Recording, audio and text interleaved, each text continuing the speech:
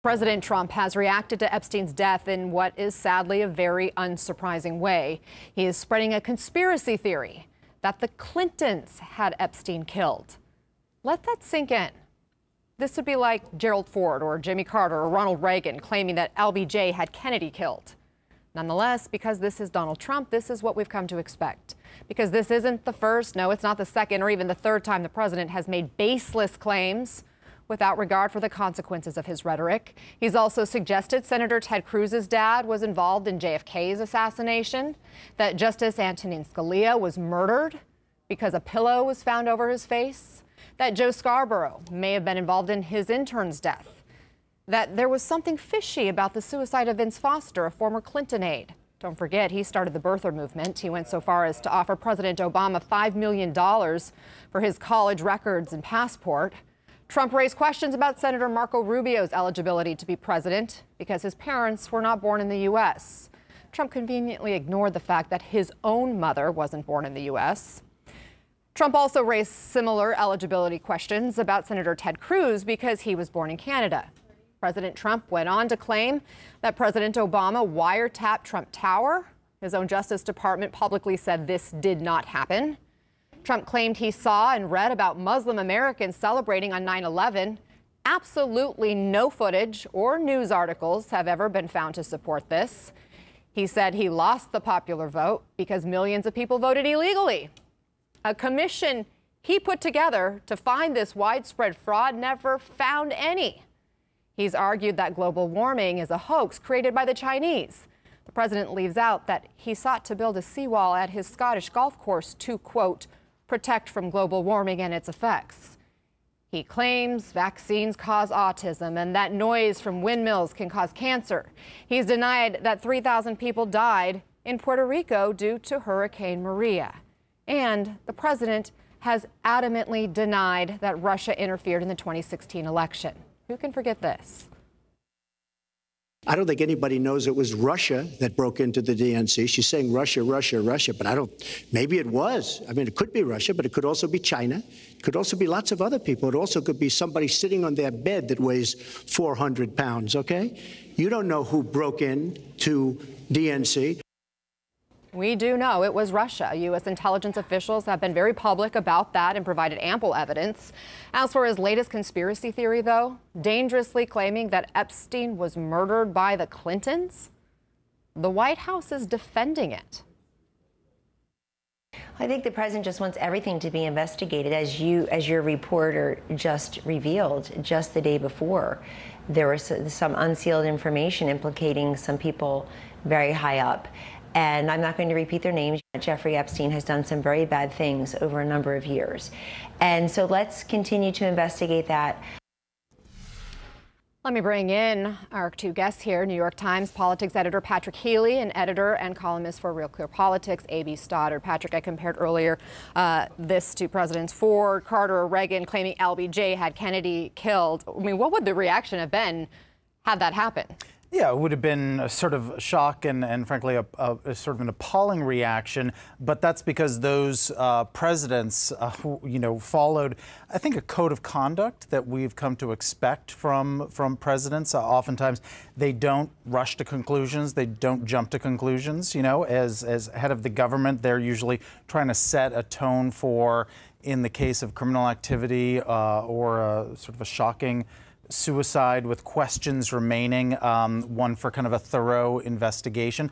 But the reality is, is that we have a president now whose Twitter feed is a chief source of disinformation in the world. I mean, this is a president who loves to trade in conspiracies and untruths like the long, powerful list that you put on the screen. And he is particularly uh, preoccupied uh, some might say obsessed with the Clintons. Now, I don't know if that goes to an insecurity because if not for the Electoral College, Hillary Clinton would be president right now instead of Donald Trump.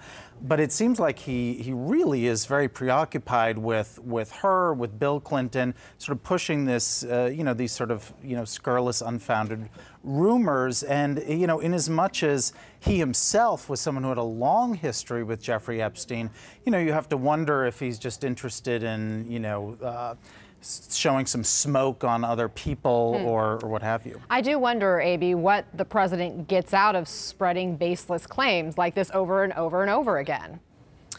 Well, in this particular case, he gets a couple of things. I mean, I saw Kellyanne Conway was making lemonade out of lemons, uh, insinuating that people, a lot of people have a lot of secrets and they're very high up. And we know that Bill Clinton was on Epstein's plane several times. And as Patrick notes, we know that there's video of Donald Trump dancing at Epstein's parties. So he, um, I think, enjoys he enjoys conspiracy theories, which is why everyone's sort of rolling their eyes and not having this kind of, you know, unbelievable response that would follow any other president doing anything like this. Uh, Ana, Patrick, my, all three of us, if we um, tweeted stuff like this uh, in this reckless fashion, we we would likely lose our jobs. Mm-hmm. Um, but I do think that he likes to have this out in conservative media and amplified online. He has told his supporters that there are very bad people in the government who do very bad things. He's used the word treason many times. He's used the word coup. No Republican uh, elected officials have pushed back on that and he is telling uh, his supporters, uh, I believe, in, in advance of, of next year's election, that you know, the government is out to get him. He's been saying this really pr- pretty much since day one.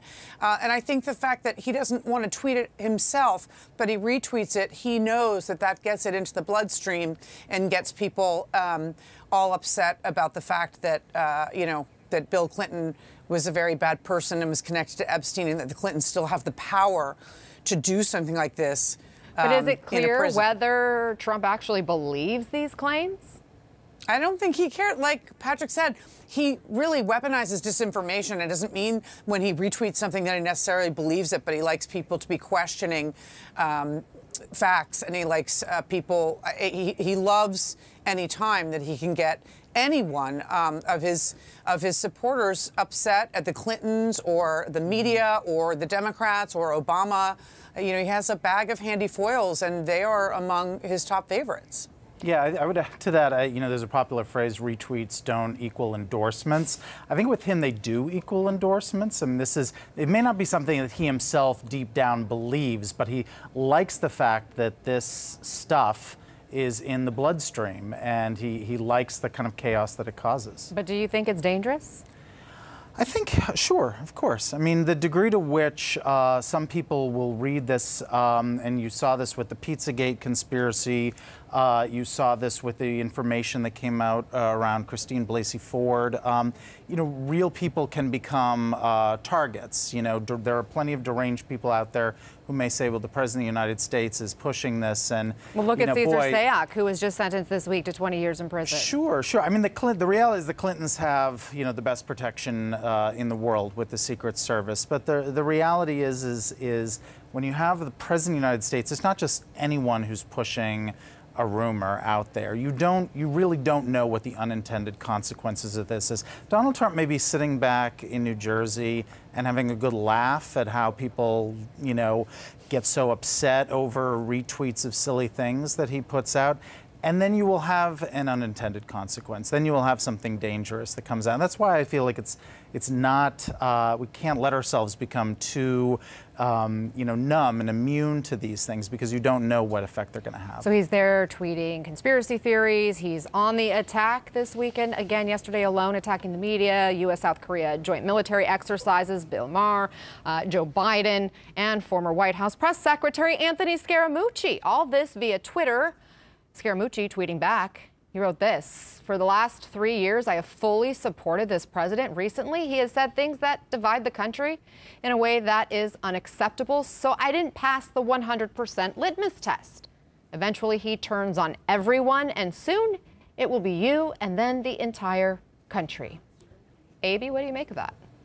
Yeah, I thought that was very interesting. Um, because Anthony Scaramucci said recently when he was criticizing the president that the president might that might make him mad.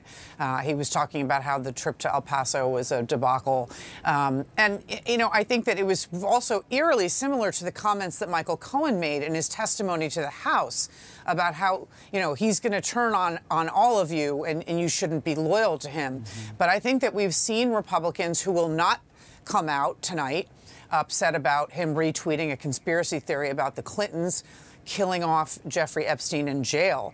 Um, I, you will see the Republicans remain as silent as they have all along um, because they don't want to counter him and they believe that they can retain his good favor and hold on to their seats if they don't criticize him the way that Scaramucci has. Amy Stoddard, Patrick Healy, thank you both. Thanks, Ana.